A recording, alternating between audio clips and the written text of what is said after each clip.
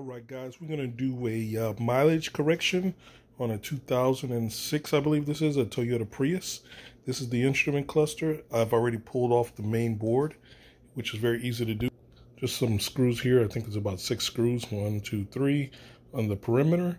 And then there's going to be uh, some clips you got to push down to be able to release these um, ribbon cables. Then you can slide them out of the board.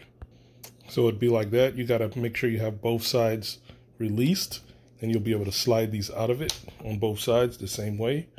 And at that point, you will be able to, oh, there's will be one connector on this side. You got to just pull the little clip out and then it can come out of the connector there. And then you'll be able to pull the full board out. I went ahead and desoldered the, the actual display. It's held on here, all down these right here um, and on this side as well, where you see the flux. And I use the desolder gun. Um, if you're going to attempt this, you definitely, I'd recommend having a desoldering gun or station.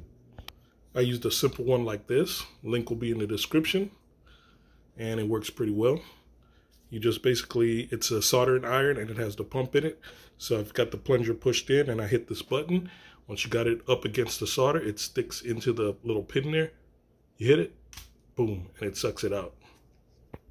So that display sits on there, something like this.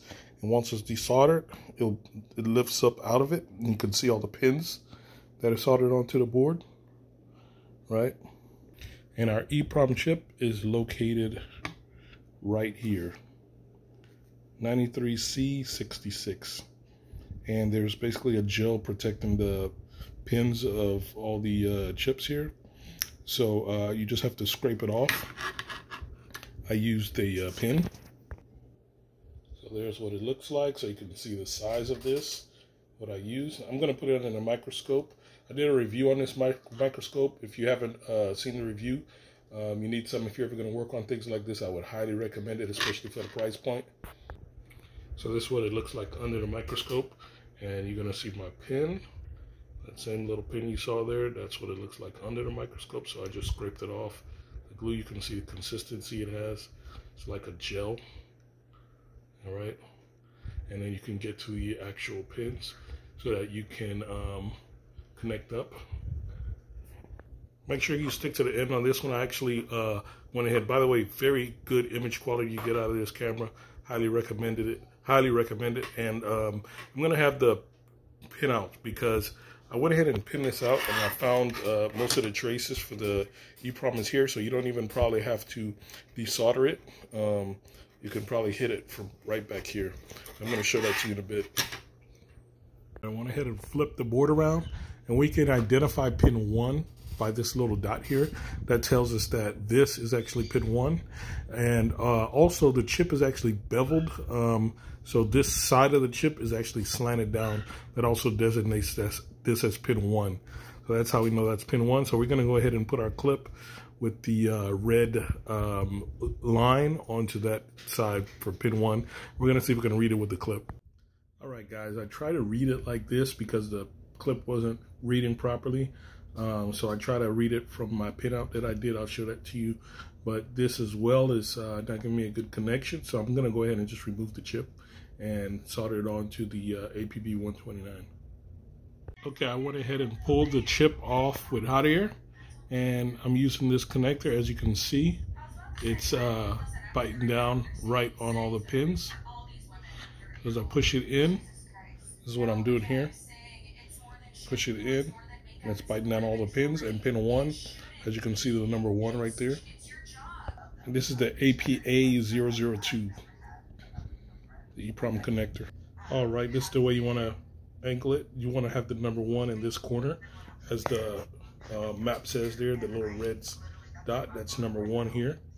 And I put that in place. Now we're gonna, so you're gonna want to go under EEPROM, and go under Atmel, and it's a 93C 66 EEPROM. And if you know my channel, we always go to set and we always make sure uh, this you don't never really need to change should be at 5.0 Uh, so we leave that one alone, but we do always go to our verifications and make sure our reading and our writing verifications is on. That's important. You want to make sure you always have a good read. It's going to read it twice or write it twice and make sure.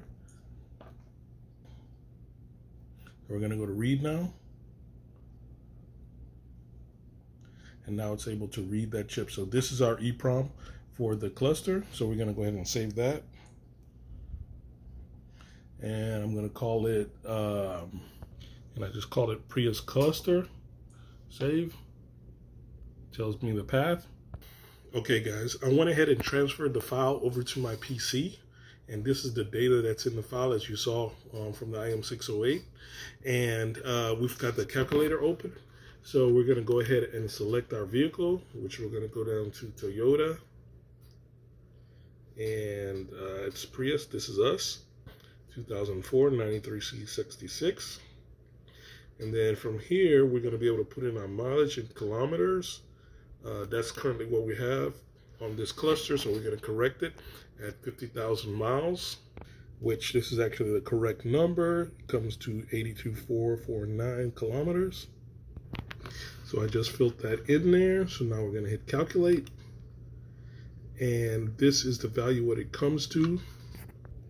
So this is basically showing us the value of our file, what it should be. So the EE02, we're going to modify it to F112. And if you don't have this app, by the way, that means you're not subscribed to the channel. You want to go ahead and hit that subscribe button. You're going to see my email down there in the description and shoot me an email and let me know you subscribed and send your uh, YouTube screen name to me so I can check that. And I'm going to go ahead and email you uh, a link to download this thing free. And make sure you hit that thumbs up button as well. So we got a caps lock on and we're going to put F one, one, two. And we repeat that to replace that, um, all of the lines, just like that. That's the flag for the mileage. Then once we get to the last line, number 20, we're just going to do it one time. Actually, hold on. So then that's it. Now we're going to save our file. Uh, we're going to call it um, cluster corrected. Save that. I'm gonna go ahead and send it back to the IM608. Now we're back at the IM608. We're gonna go to write. We're gonna select our file, which is right here. Tell it okay. And it's gonna write it, and now it's gonna read it and verify and make sure it's correct. And it says correct. We're gonna just read it back, just so we can see the data that we did read. So read. And it should show us the modifications that we made to the file. And there it is, F112. So that is the corrected mileage now for this cluster. Now we're gonna reposition this chip and solder it back on. We got it all soldered up and all the pins are strong. So now we're gonna just clean this up and put everything back together. Okay guys, here's the pin out of the cluster. I went ahead and connected it up. So I've got two powers and a ground. By the way, guys, uh, you could skip the step on moving it to the laptop. If you got a hex editor, you can just edit this uh, right on the uh, IM608 as well. All right, I'm gonna power up the cluster. There it is. See if we can get a better picture. It's a little dusty, gotta clean it and get closer in. See if we can get a focus and there it is. And as you can see the mileage is actually 82 for what happened is um, yeah in the app even though it said uh, it was in kilometers it's actually in miles. So that's incorrect. It's a bug in the app. So that's the reason why it's reflecting like that. So I'd have to go back and um, go back in there and change that. But that's it on this video boys. Um, now you know the process. If you didn't know this now you know and guess what Knowing, is half the battle, boys. Click that thumb, thumbs up button and uh, subscribe and see you on the next one.